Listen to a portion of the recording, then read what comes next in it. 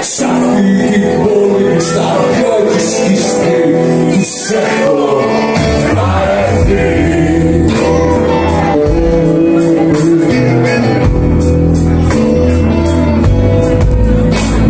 Και πέστε μου Αξίζει μια πεντάρα Το γραφείο γραμμόνι φάρα Στη μέση το δίσκο Στο σφαίρκο του λαού χώρο Στις ιστορίες το χοντρό το κινητή Την έχω βαρεθεί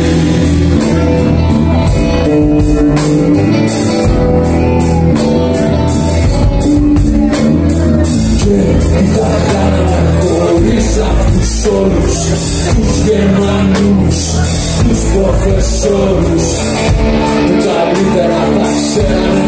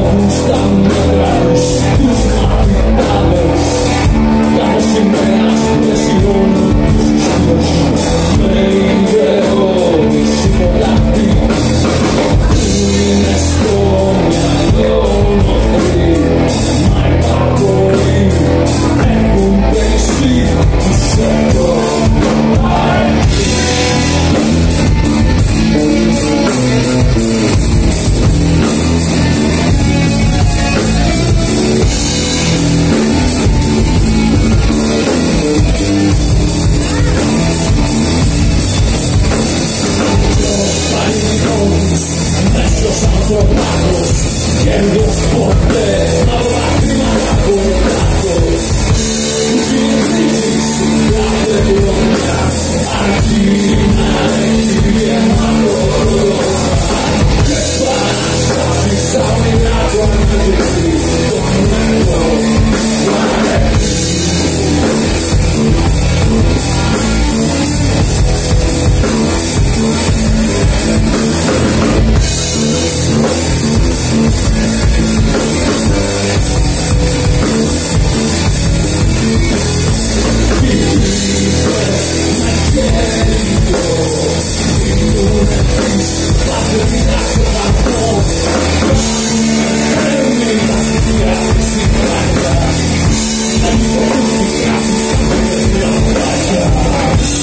se cambió